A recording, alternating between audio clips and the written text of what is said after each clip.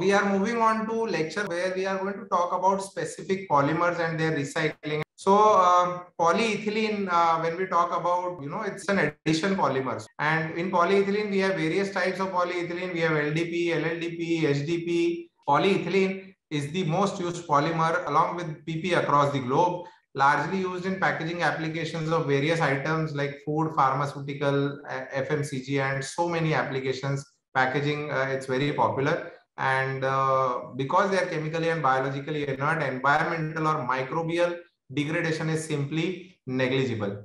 Now, what are the packaging waste applications? We are talking about post-consumer packaging waste applications. We look at post-consumer polyethylene films recycling, uh, and uh, basically this is driven by consumer and legislative pressures. This post-consumer film recycling has gained momentum and is now one of the largest growing segments of the recycling industry. Uh, these films consist of LD, LLD, and HDP, which is accounted mostly for applications like grocery sacks, stretch and shrink wrap films, agricultural mulch films, packaging films, blow molding drums, and they might have uh, thicknesses ranging from 0.2 to 5 mils. The primary challenge to recycling the film is contamination. According to an industry estimate, around 25% of all grocery bags are contaminated and require very thorough washing in the recycling process, which doesn't make the recycling process as really profitable. We are talking about primary and secondary over here. So this is the same uh, where we are taking a baled film. Uh, it is put into a breaker shredder. The bales are broken down. It is passed through a vibratory conveyor uh, where the material is going to be separated out based on the density, not exactly on the density basis of the uh, bait. And then from there, it is going to pass through into the sedimentation tank where uh, density principle is going to be used. There is going to be size reduction in a granulator.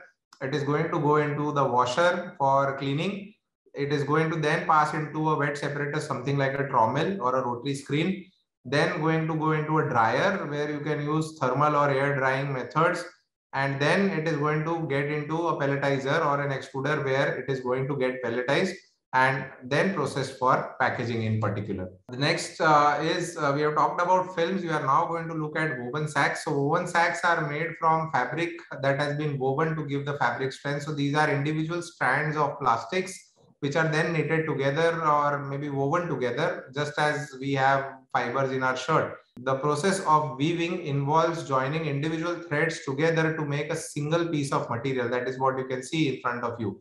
Doing this over and over again creates one large piece of cloth and you will have power looms that are uh, they are manufactured by a lot of companies across our country and the globe. And they have a very big automated line where you can go for uh, small uh, 25 kg or even 5 kg bags to larger sizes of IBCs, that is intermediate bulk containers, which can take up to one ton of material in one bag. The cloth is then used to manufacture tote bags under a number of different styles and shapes. So weaving styles can be different.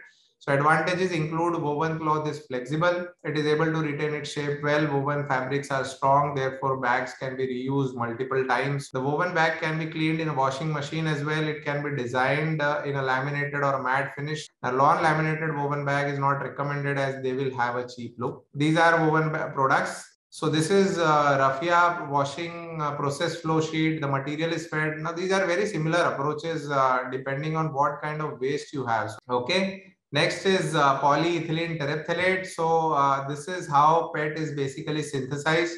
So uh, PET is a polyester, right? So it's a polycrystalline polyester formed by the esterification of uh, terephthalic acid and ethylene glycol. So it's a diabasic acid and it's a diol.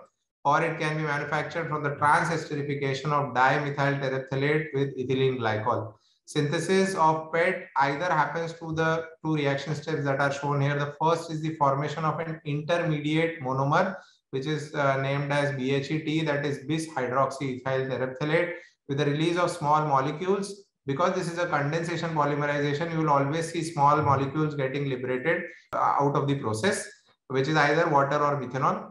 The second is the polycondensation of bis hydroxyethyl terephthalate, which is also known as trans esterification to produce PET in the melt phase with the release of ethylene glycol under high vacuum, right? So this is the two reactions that are shown here is first is from pure terephthalic acid and adding ethylene glycol into terephthalic acid reaching up to BHET The second one is uh, trans-esterification of dimethyl terephthalate can be done with ethylene glycol and it again makes this BHET. So the first one is glycolysis of PET. So glycolytic recycling of PET can be done in a continuous or in a batch process is preferentially performed by addition of PET waste to boiling ethylene glycol, which leads to the formation of low molecular weight intermediates and eventually to crystallize diglycol terephthalate.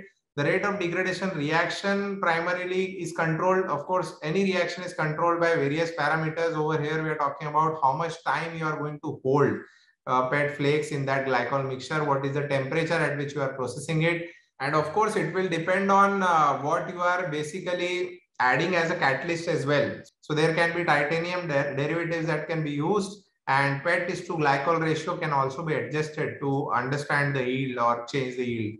It is also necessary to avoid side reactions which may occur by adding buffers which will control or stabilize the process or by keeping down the reaction time and temperature. Biodegradation can be uh, carried out by ester hydrolyzing enzymes. So PET can be hydrolyzed, but then uh, it, it happens in extreme conditions. And esterase is the enzyme which can bring about uh, the disintegration of PET.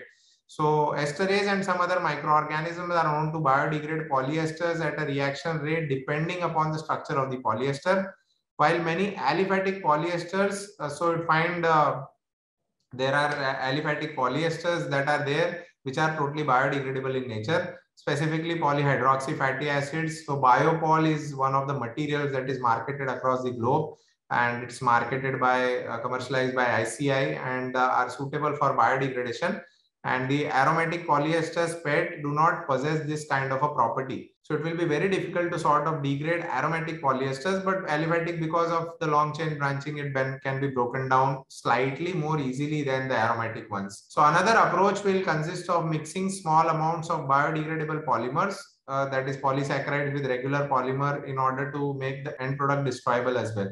But the thing to note here is that the amount of biodegradable material that you have added in the polymer only that part will disintegrate and it will make you feel like the whole uh, material is disintegrating, but that is not the case.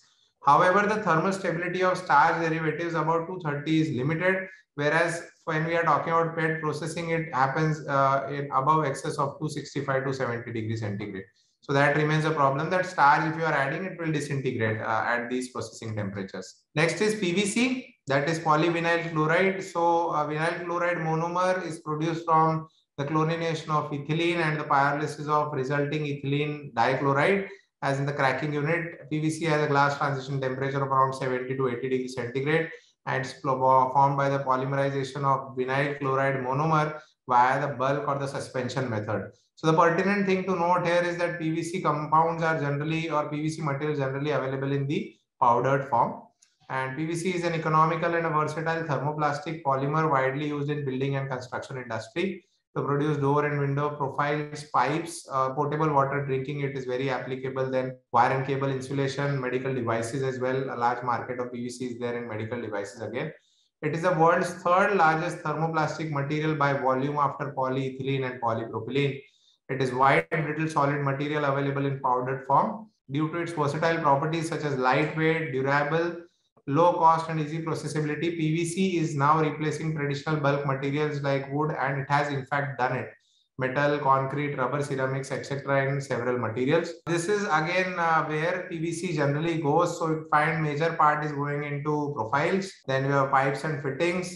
Then uh, miscellaneous rigid bottles. So you find uh, this medical application is playing its part here then there is rigid film, which is around 9%, coated fabrics 3%, flooring, that is carpeting is around 6%, cable application 7%, flexible tubes and profiles around 3%, right? So this is where it is basically spread. What are the benefits? So PVC is well suited for recycling. It has in fact the longest history of recycling of all plastics. So large volumes of recyclable PVC waste are available. Using recycled PVC help meeting the source resource efficiency objectives and allows for the preservation of raw materials and using recycled PVC reduces emission and landfill requirements.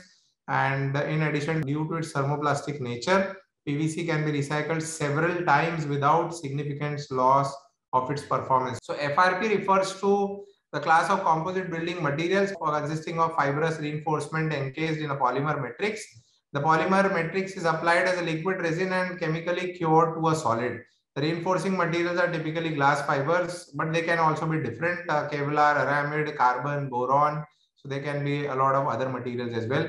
The fiber content of these composite materials can range from less than 5% to greater than around 60% by now, what are the manufacturing techniques? Uh, there can be hand layup, spray up, closed mold infusion, compression molding. These are some of the techniques that are used. Uh, now, what are the recycling techniques? And we'll touch upon each of them one by one and we'll try and conclude what is basically uh, the best one out of it. So you can go for mechanical recycling.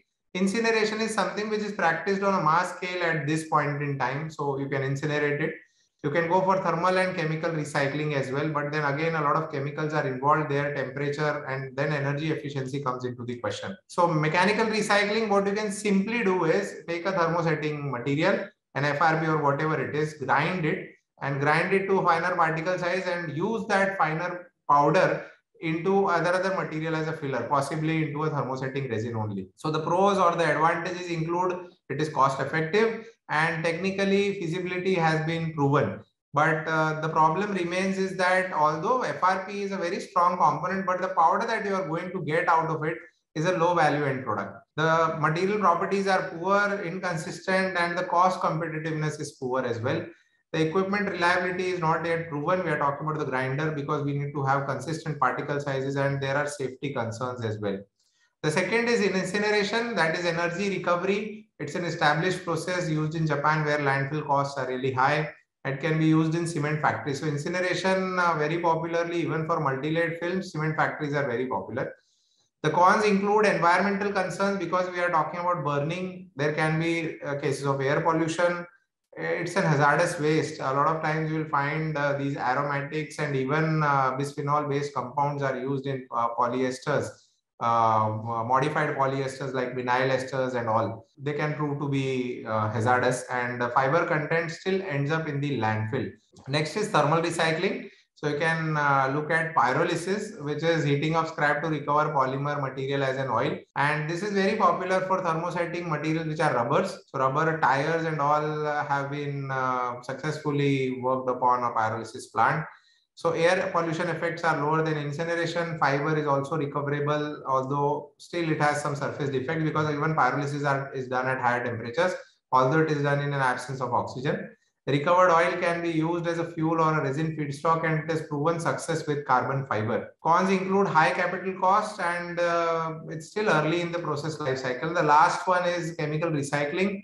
So you'd find that in chemical recycling, you're actually going to put it in a monomer or a solvent where the, the, the cross-link thermoset is going to dissolve. But then you would find that it is not going to dissolve that easily. You might need to have elevated temperatures or maybe conditions which are really aggressive to that thermosetting material. And that is where along with the solvent, you are also incorporating energy and then it becomes slightly more difficult when we are talking from a commercial perspective. So the pros include that fibers retain most of their original strength and the cons include typically requires granulating the scrap. So smaller pieces, you have to convert it into smaller pieces to have lesser uh, volume of solvent used and then uh, when we are breaking it down there is going to be fiber damage and it uses large amount of potentially hazardous solvents and it's capital intensive and it's an emerging technology